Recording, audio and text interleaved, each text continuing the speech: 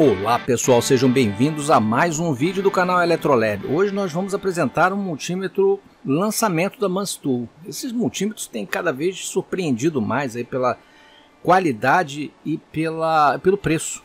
Né? Eles praticamente têm baixado de preço em relação aos modelos equivalentes e sempre com algum recurso a mais. Esse daqui está surpreendendo aqui já pela aparência e pelas características. Então vamos dar um, uma examinada nele aqui e ver o que, que ele traz. Vem com um manualzinho de instruções. É um True RMS, parece um celular. Tem uma tela LCD aqui de 4.4 polegadas e alguns botões touchscreen aqui ele tem uma bateria de lítio embutida, pode ser trocada, mas ela é fixa, recarregável, de modo que você não precisa ficar trocando pilha. Isso é bastante interessante. E o carregamento é USB. Você vai conectar o USB, vai carregar, ele vai ter uma operação mínima de 10 horas aí por dia ligado, né? O que dá para você carregar como se fosse um celular. E caso a, pilha, a bateria é, fique ruim com o tempo, você pode substituir, tem um acesso aqui direto. Ok? O que mais que vem aqui? Dá uma olhadinha nos acessórios. Ok, vem um termopar tipo K, já que obviamente ele tem medida de temperatura e um par de pontas de prova. Bom, ele é um 6.000 contagens, True RMS, bastante completo, inclusive com medidas de corrente, de corrente contínua e alternada. Alguns modelos desses mais fininhos assim, a gente às vezes não tem nem a escala de corrente, mas esse aqui tem. Para ligar, você segura aqui o touch por 2 segundos e ele liga com uma tela bem ampla, realmente bem visível, um belo de um bar gráfico aqui em cima. A função é, ele é smart, né? Então a função é automática, é interessante, ó, vou aproximar aqui. Ele fica aqui com essa bússola aqui rodando nessas três funções aqui que basicamente é de tensão, resistência e o de continuidade, né? Ele fica circulando aqui porque ele está na função alto.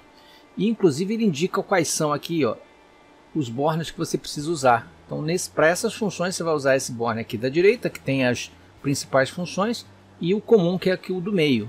Os bornes estão aqui embaixo, para evitar que você conecte errado, né? Provavelmente esse daqui deve ser o de corrente. E aí ao selecionar a corrente ele deve partir para acionar, acender aqui esse borne. Bom, é, nessa função aqui, nesse botão aqui, você pode colocar também em outras funções. Agora eu fixei, por exemplo, em capacitância. Tá, a setinha ali está indicando capacitância. Mais um toque, ele volta aqui para VFC. O VFC não é UFC como parece, né? o VFC é uma medida muito interessante. Ele tem um filtro passa baixa aqui que permite fazer medidas, por exemplo, de sinais ruidosos em, com frequência variável, né? Por exemplo, sinais de PWM, medidas de controle de velocidade de motores, onde você tem muita interferência. Você utilizando o recurso do VFC, você consegue fazer a medida com a partir de um filtro e ter o valor real de amplitude RMS medida por esse instrumento com esse filtro, já que é muitas vezes muito difícil de medir essa amplitude num sinal ruidoso que tem componentes de alta frequência em função do funcionamento do motor. Então é um, uma função bem bacana mesmo. Colocando aqui de novo, voltamos para o alto, ok? Então tá lá. Capacitância, VFC e alto, onde ele vai ficar na função automática. Aqui você também tem a função NCV, que é aquela função de medida de, de energia sem contato, né, que a gente já mostrou aqui algumas vezes. As demais funções que você não tem a, a possibilidade de fazer automático, né, você vem aqui direto na tecla Power com toque. E aí você troca as funções. A primeira função aqui, vamos lá. AC True RMS, diodo, já foi ali para diodo, Capacitância, volta para capacitância aqui também. Frequência em Hertz, ele mede até 8 MHz. Corrente, corrente aqui em miliampere, escala em miliampere, interessante, né? DC, depois miliampere, true RMS, AC, temperatura em graus, ele está medindo a temperatura ambiente aqui, em graus Celsius, e depois temperatura em Fahrenheit, com mais um toque, ok? Medindo aqui em Fahrenheit.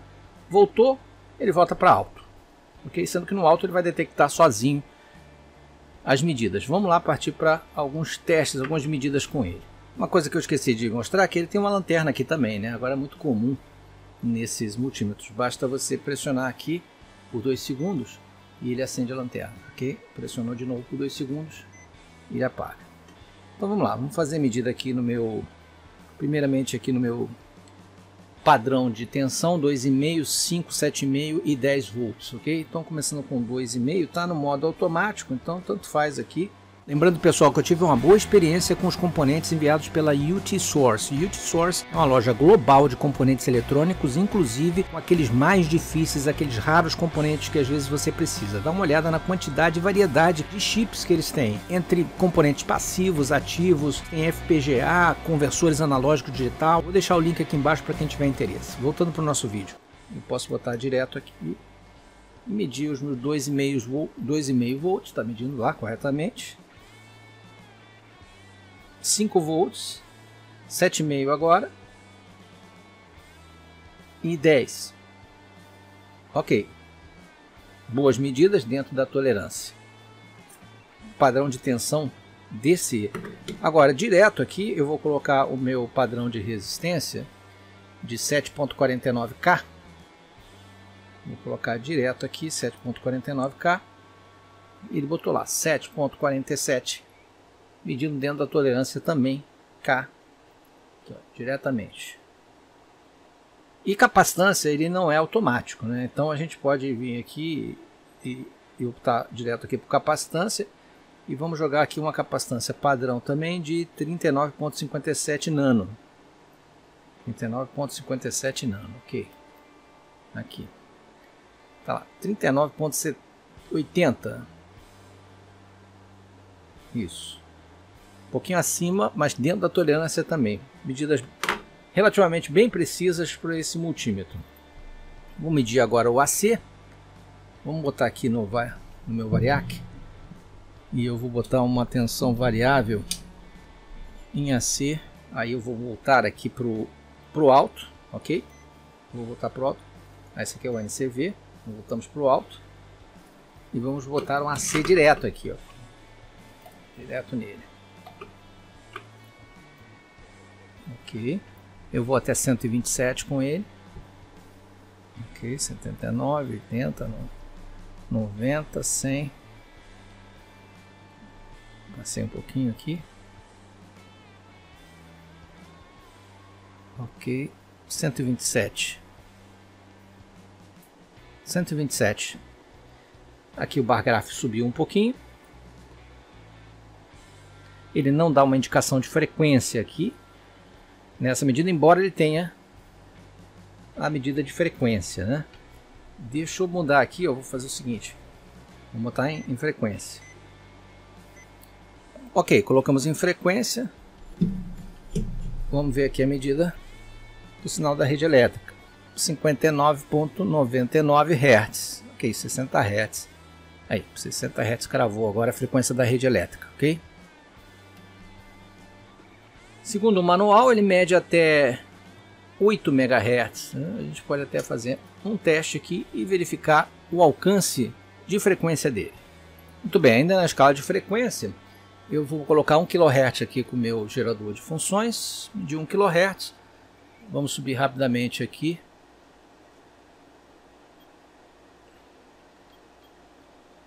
Vamos subir rapidamente para 1 MHz. 1 MHz, 1.000 MHz. Vamos botar então 5 MHz. Ok, 5,003. E 8 MHz é o fundo de escala dele, né? 8.00 MHz. Vamos tentar subir um pouquinho mais. 9 MHz. Mediu. Vamos a 10. Mediu também. Vamos a 15. Caramba, está muito além do spec. 20. 30 MHz.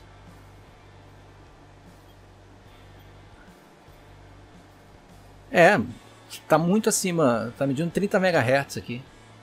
30.01, tudo bem, não tem dígito com precisão ali para você ver. A resolução é baixa não, nessa, nessa frequência elevada, mas você consegue ter uma boa noção. Vamos arriscar aqui 50 MHz? Ah, aí não mede. 50 não mediu. Mas também aí 40 MHz. Também não.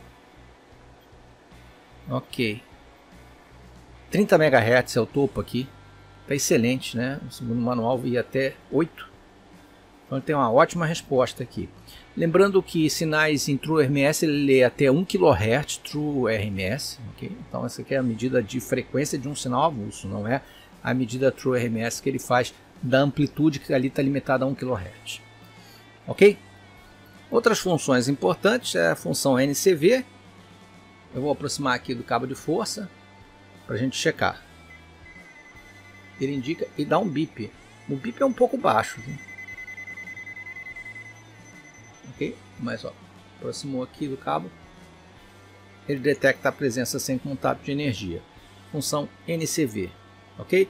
A função de continuidade, a gente também tem, vou botar aqui, ah, pode ser na função alto mesmo, ele já consegue fazer continuidade na função alto, vamos voltar aqui para a função alto, ok, função alto, e, ok, não, não tem velocidade, você tem que encostar aqui para disparar, tá aqui a função de continuidade, ok?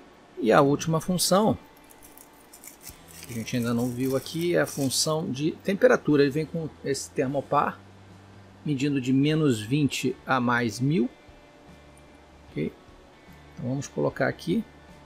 É na própria entrada normal aqui do, das pontas de prova. Aqui e aqui. E obviamente a gente escolhe a escala de temperatura Celsius.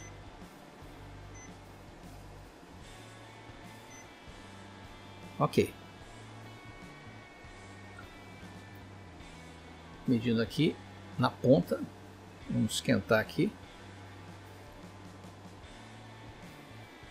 Beleza. Soltou. Começa a esfriar ok? Funcionando bem. A escala de temperatura também. Bem completo o multímetro, ok pessoal? Bom, com relação às especificações, ele faz 1000 volts DC, 750 volts AC, uh, resistência até 60 mega, capacitância até 60 mil microfarads, frequência, segundo ele, até 8 mega, mas a gente conseguiu ir acima, e uh, temperatura até de menos 20 a 1000 ok? E a corrente em miliamperes até 400 miliamperes, tanto AC quanto DC. E não tem escala de corrente alta, até 400 miliamperes, que já pode ajudar bastante em medições de eletrônica. Então esse aqui é o modelo C21 da Mustool, é um modelo Smart, um dos mais recentes, saiu há tem pouquíssimo tempo. Me pareceu, ele é bem leve, isso aqui cabe no bolso tranquilamente. E ele é muito em conta, tá? Ele tem um preço bem baixo. Dá uma checada lá, eu vou deixar o link aqui embaixo para checar aí quanto é que ele está atualmente na Banggood, mas o valor é bem em conta, bem mais barato que os outros smarts que tem por aí e muito completo, uma tela muito boa, bem visível, a vantagem de usar a bateria recarregável e todas as escalas principais aqui disponíveis e algumas extras como a leitura VFC e a leitura sem contato também de energia NCV que você pode fazer. Além da praticidade aqui de poder, de poder usar um, um equipamento bem completo e bem compacto. Ok, pessoal? Bom, é basicamente isso que eu queria mostrar com relação a esse review desse novo lançamento. Se gostarem, clique no like, não deixem de se inscrever no canal e até o próximo vídeo. Um grande abraço.